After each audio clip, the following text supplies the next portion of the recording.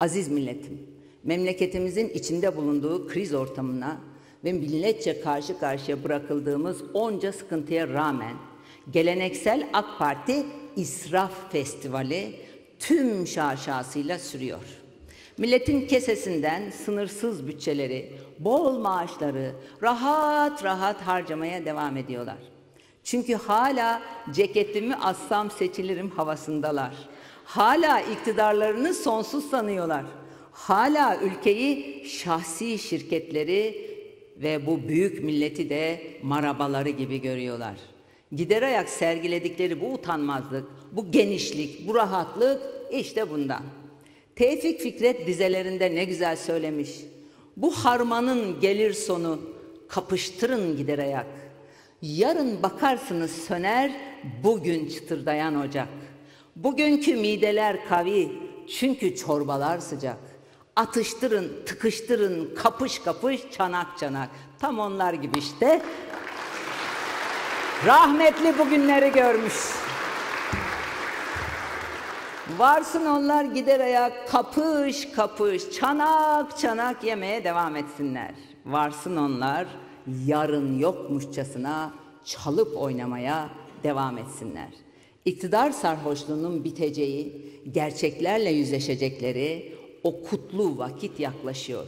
Bu devletin de, bu ülkenin de gerçek sahibinin millet olduğunu anlayacakları, sandıkta milletimizin elinden yiyecekleri, okkalı tokatla sarsılacakları o kutlu güne çok az kaldı. Bu haram düzeninin bitmesine, zengin ve mutlu, huzurlu bir Türkiye'ye uyanmamıza çok az kaldı. Hiç merak etmeyin, İyi Parti iktidarına çok az kaldı.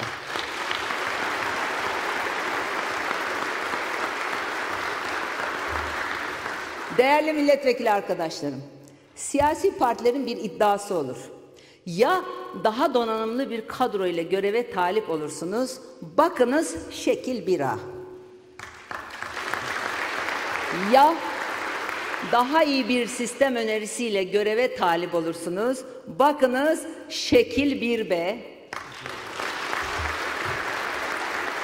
Ya da haklarını alamayan işçiye, memura, emeklilere ve gençlere daha iyi şartlar sunmak için göreve talip olursunuz.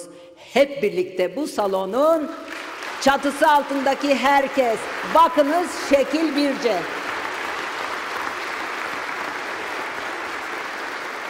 Yani koltuğa değil göreve talip olursunuz.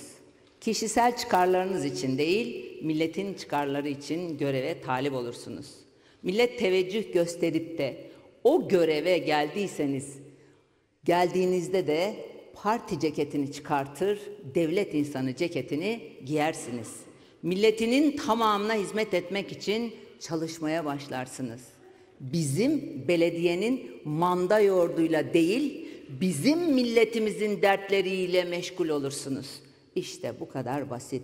İşte şekil bir C, Ç. Bir Ç. Buradan Bay Kriz ve arkadaşlarının başımıza bela ettiği bu ucube sistemi inatla savunanlara sormak istiyorum. Eğer bugün Türkiye'de yargı bağımsız olsaydı bu kadar yolsuzluk yapılabilir miydi?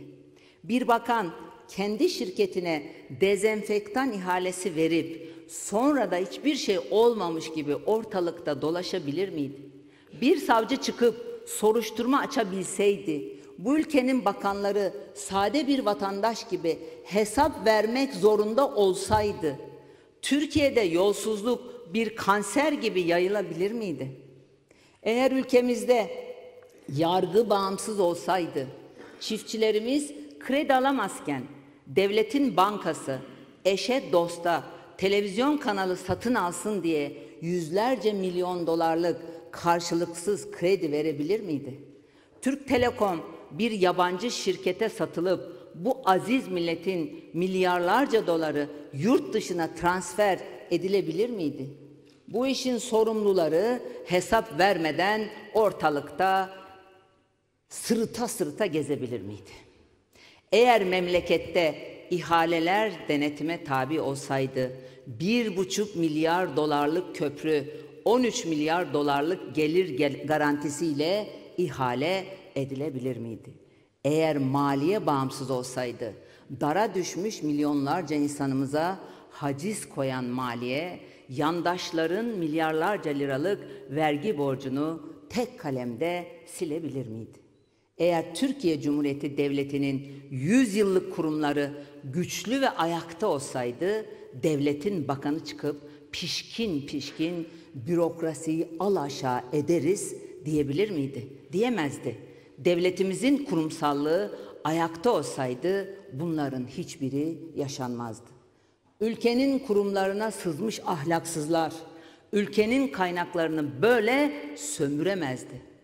Kuvvetler ayrılığı dememizin, hukuk devleti dememizin sebebi işte budur. Bizim hedefimiz ahlaksızlığı ödüllendiren bu ucube sisteme son verip yerine ahlaklı olmayı mecbur kılan Türkiye'ye yakışır bir sistemi getirmektir. Bu kadar basit. Devletler ahlaksızlıkla yıkılır. İşte tam da bu nedenle AK Parti'nin en büyük günahı ahlaksızlığı, hırsızlığı, yüzsüzlüğü sıradanlaştırmasıdır.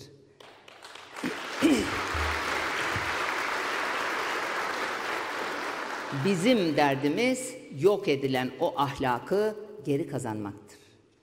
Ahlaksızların ceplerini doldurduğu, rüşvetçilerin caka sattığı, yüzsüzlerin de sırıtarak dolaştığı bu ucube sistemi ülkemizden söküp atmaktır.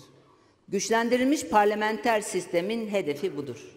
İşte o nedenle biz kurumsal ve fikri farklılıklarımıza rağmen altı siyasi parti olarak bu yolda çok önemli bir adım attık. Biliyorsunuz ilkin 12 Şubat'ta gerçekleştirdiğimiz toplantının sonrasında 28 Şubat günü güçlendirilmiş parlamenter sistem önerimizi ana hatlarıyla milletimizin takdirine sunmuştuk. Geçtiğimiz hafta sonu da yeniden bir araya gelerek hem parlamenter sisteme geçiş sürecinin detaylarını konuştuk hem de ülkemizde yaşanan güncel sorunları istişare ettik. Yalnız görüyoruz ki bu tablo Cumhur İttifakı bileşenlerinin canını çok sıkıyor. Elbette anlayışla karşılıyorum. Çünkü şimdiye kadar yürüttükleri cambaza bak oyunu bozuldu. Çünkü şimdiye kadar yürüttükleri kutuplaştırma siyaseti dağıldı. Çünkü rahatları bozuldu. O rahatlar daha çok bozulacak. Çok yayılmışlardı koltuklara, çok. Yalnız kendilerini şimdiden uyarmak istiyorum. Bu daha başlangıç. O rahatlar daha çok bozulacak, çok. Sarayda yan gelip yatanlara da, sarayın gölgesinde keyif çatanlara da, bay krizi arkasına alıp rantastik hayatlar yaşayanlara da bundan sonra rahat yüzü yok. Ona göre ha. Nitekim bu rahatsızlıktan mütevellit olsa gerek siyasi bir dumur hali Cumhur İttifakı'nı esir almış durumda. Biz ne zaman buluşsak iktidar cephesinden birileri hoplayıveriyor. Biz asıl mesele sistemdir dedikçe onlar ısrarla aynı soruyu soruyor. Adayınız kim diyorlar. Yahu defalarca söyledim. Adayımız Türkiye Cumhuriyeti'nin 13. Cumhurbaşkanıdır.